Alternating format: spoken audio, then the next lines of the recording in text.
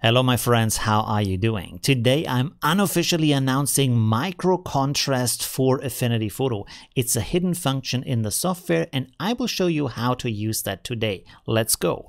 My name is Olivio, I'm a professional designer and I want to thank all of my patrons who support me and make these videos possible. Also my Patreon supporters get a bonus part of this tutorial where I show you some additional secret sauce and tricks that you can do with this filter. Another announcement is that I'm soon starting a series on the Nik Collection Color Effects Pro. I'm going through all the filters, show you some secret sauce and what all the settings are about. This is going to be really amazing because you can do some magical things with that filter plugin. And I'm going back to my weekly live streams because personally I'm really missing them. I know a lot of you don't have the chance to watch them live, but if you can really do because it's a lot of fun and you can live chat with me, ask me questions, we can have really cool discussions and I'm sharing a ton of secret sauce while I'm working on art pieces that I'm creating. Okay, let's get started here and we have to go into a little bit of history so you understand better what is going on. Now, when you think about contrast, what that actually is, is when you use here the contrast adjustment, this is adjusting the overall contrast of the image, not the finer details of the contrast. So there is the big difference between micro contrast, which is a contrast that works around the finer detail edges, and normal contrast, which is a contrast applied to all of the image in a wider range. So let's delete this here. And if you're an old school user, you will know this trick as a sharpening trick. Now, what does sharpening have to do with contrast? Actually, sharpening is edge finding and then applying contrast to these edges. The image is not really getting sharper, it just looks sharper because the contrast on the edges is more pronounced. So here is this old school trick.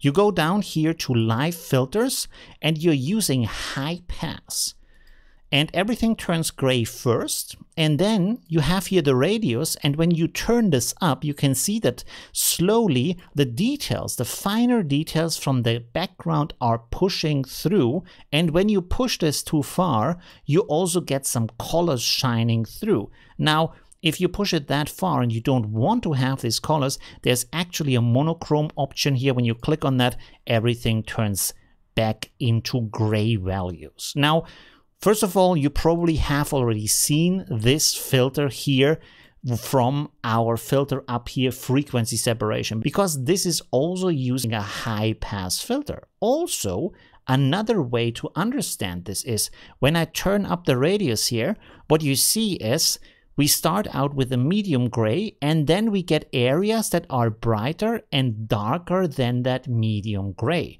and afterwards we're going to use a blend mode. So if you have seen me before doing a dodge and burn trick, this is exactly that. Because I'm using a pixel layer, I'm using a brush, and then I'm painting different gray values onto that layer and blending it with the image below to make parts of the image darker or brighter. The only difference here is that the high pass filter is searching for these details for us and then applying that dodge and burn to the image. So that is basically creating our micro contrast. So what we're doing here is you can go down here to these blend modes. Soft light creates a very soft application of that filter. So you can see when I move the slider here around, I'm getting more or less details and a little bit more or less contrast in here. So the image looks a little bit sharper, but also it has contrast in the finer parts. And Soft light is the softest application of that. The next step would be overlay. It's a little bit more intense as you can see here. And then you also have hard light, which is even harder than that. So this is kind of the hardest way. And also this is when you do sharpening with that filter. These are the three blend modes you would use for that. Now, I want to invite you to experiment also with the other blend modes here, like Vivid Light, as you can see here. When you look down on the stone, this is changing the stone. Look at that. Let's zoom out here a little bit, go over here.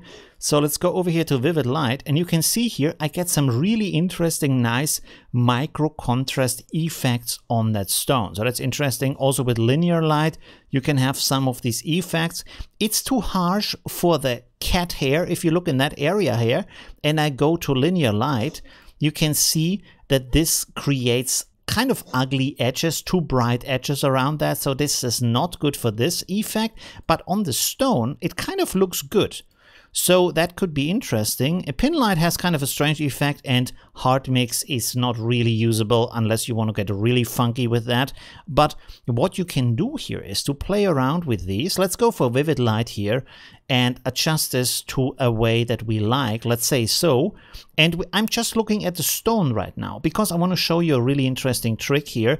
When you say, I want to apply this, but only to the stone, and then I want to apply a different setting to the cat. You can do this because in Affinity Photo, all of the live filters and all of the adjustment layers have a built-in mask. So do this with the normal adjustment here, with the normal live filter, until you like what you're seeing. And then you go here, select that live filter layer, go to layer, invert so this layer is invisible at that point and then simply use your paintbrush and go here and set it to white as a color and you can see wherever I'm painting with that the effect is going to be applied. So I can simply now paint this. You can see here just on the stone not on the cat and just like that I can apply a micro contrast to that stone and then if I want to I can apply a different micro contrast to the cat. So you can see if I turn this now on and off, this is only applied to the stone, not applied to the cat. So that means now I can go in here, live filter, high pass, I can create another version here. Let's say this time I want to go with soft light and I want to have a soft adjustment here on the fur. So I do it like this. Again, I go to layer, invert, take my paintbrush and now I can paint this onto the cat over here. So just like that, you can see, let's just do it in this area. When I turn this on and off, this is now just on the cat, not on the stone. All right, that's it for today. I hope you enjoyed that trick.